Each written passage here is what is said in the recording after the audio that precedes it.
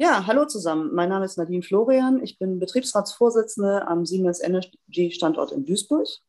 Und wir waren mit daran beteiligt an dem Projekt Arbeit 2020 in Kooperation auch mit der IG Metall. Damals noch unter der Flagge der Siemens AG. Und äh, ja, wir waren einer der ersten Standorte, die 2015 die Absichtserklärung unterschrieben haben, an dem Projekt äh, uns daran zu beteiligen und haben dann sofort im Jahr 2016 zusammen mit der IG Metall und auch unter Einbindung unserer Mitarbeiter uns mit dem Thema Digitalisierung Industrie 4.0 auseinanderzusetzen. Unsere Standortleitung hat uns ähm, da auch unterstützt und uns auch dementsprechend äh, Fachkräfte auch mit an die Seite gestellt, haben dann erstmal eine Bestandserhebung gemacht, eine sogenannte digitale Betriebslandkarte erstellt, um einfach mal zu gucken, wie weit ist der Standort eigentlich und haben dann über dieses, das ganze Projekt feststellen dürfen, dass wir doch schon ziemlich weit sind mit dem Thema Digitalisierung.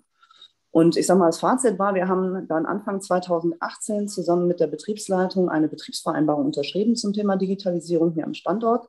Immer unter Einbindung der Mitarbeiter, unter Einbindung des Betriebsrates und dementsprechenden Führungskräften. Waren damit somit Vorreiter in der Siemens AG und sind als Best Practice Beispiel auch über Deutschland hinweg ausgerollt worden.